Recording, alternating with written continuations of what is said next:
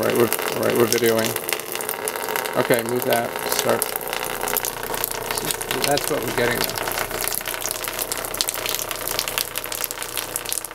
Oh wow, that looks really cool. Filming. Hello, I'm Cory Sterner, I'm Josh Solomon Cole. and today we're going to show you our physics project. And so what we have here basically is we're showing how what happens when you film a 30 sine wave going through water at 30 frames per second. So pretty much the setup we have here, we have a speaker right here with a hose uh, directly taped to it and a water source on the top and a trough below to conserve water since we're in a drought after all.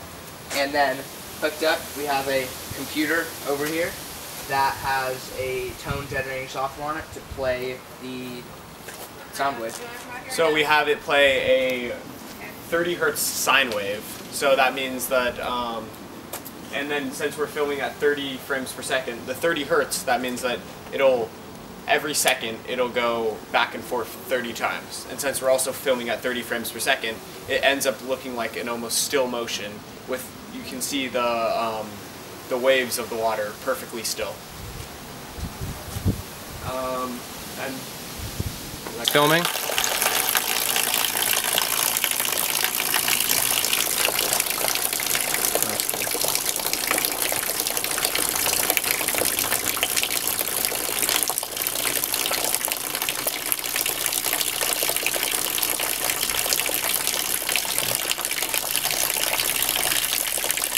It's really interesting how you can only see this moving so fast. Alright,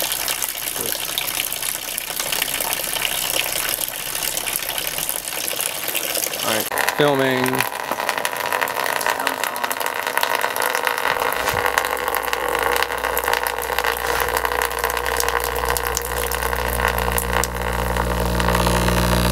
Whoa.